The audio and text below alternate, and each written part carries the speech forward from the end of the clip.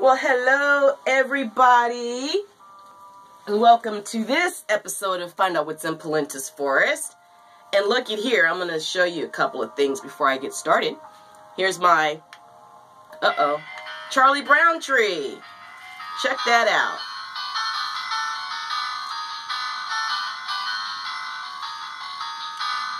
I thought this was so cool. Of course, I had to dress it up with a little bit of garland and things like that, but Charlie Brown, knock yourself out.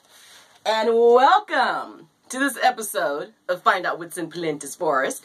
So grab yourself a glass of water or a cup of tea and spend the next few minutes with me. And like I always tell you, don't believe everything you hear. Check your facts and do your own research. Even at Christmas time, there's lots of fakery going around, so be careful. Well, I did some search on the internet and I found some Christmas jokes. yes, Christmas jokes. So, um, let's see what we can laugh about here. All right? What do Santa's elves drive? Minivans. And what do Santa's elves drink? Minnesota. Come on, that was cute.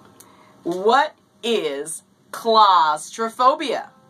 You know what claustrophobia is? If you pronounce it the right way, it's actually the fear of Santa Claus. And what breakfast breakfast cereal do elves eat?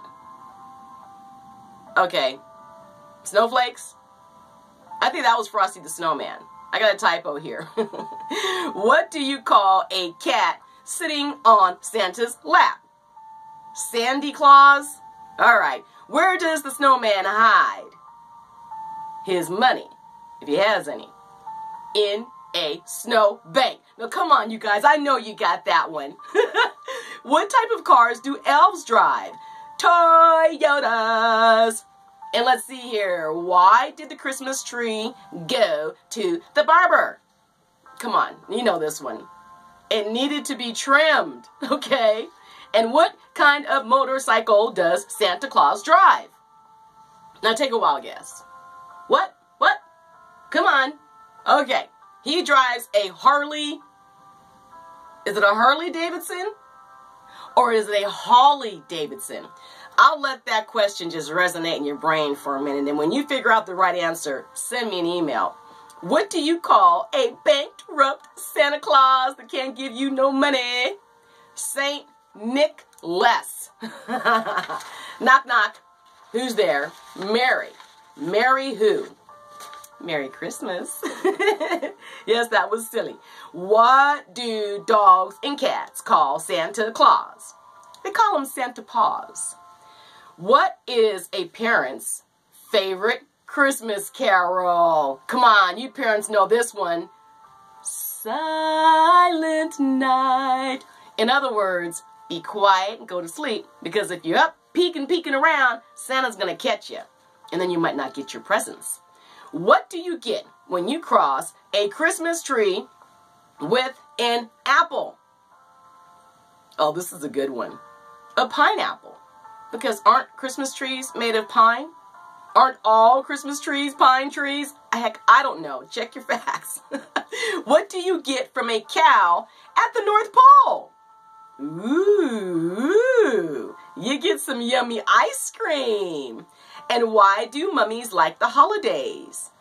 Because of all the wrapping. I don't mean rapping like it's a hip, a hop, a hip to the Merry Christmas 2018, yo, yo, yo. Not that but wrapping like being wrapped in a present. And why don't aliens celebrate Christmas?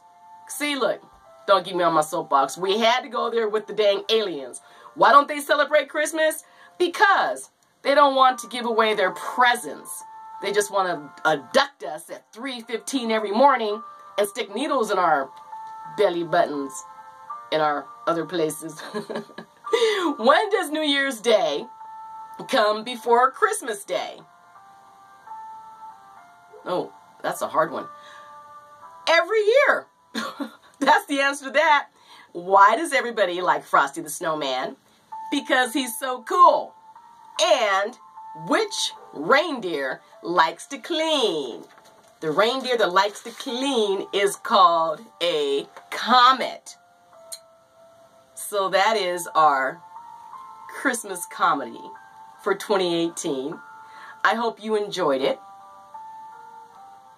And I also hope that you are having the most exciting, most spectacular, and most Christmas ever. The most Christmas ever means the most Christmas, the best, the most fun, the most filled with love and friends and happiness and joy. And if they're filled with tears, hopefully it's only tears of joy. So I am so very, very grateful for everything, everything. And I'm even more grateful for you. So you get your fine selves out and enjoy your Christmas. And thank you for watching my show. I will see you before the end of the year. If I can get my little Christmas tree up here, my little desk is getting uh it's getting crowded. And if you get a minute, get your fine selves a copy of Angels Passing Through. I love you, everybody. Hope you have a fabulous, safe, super duper great, and happy Christmas. And thanks for watching What's in Pelenta's Forrest. Much love, everybody.